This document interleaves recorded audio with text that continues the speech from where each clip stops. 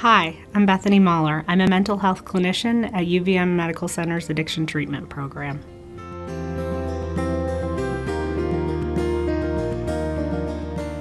My philosophy of care is to welcome everyone into my office and just demonstrate that I, you know, try to understand them, accept them, and create a non judgmental atmosphere where they can be honest and open.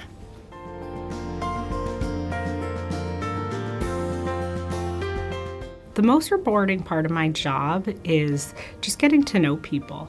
Just, you know, having them come into my office, learning about them, learning about their lives, learning about where they are now and how that's a product of, you know, all the experiences they've had in the past, and then seeing them grow.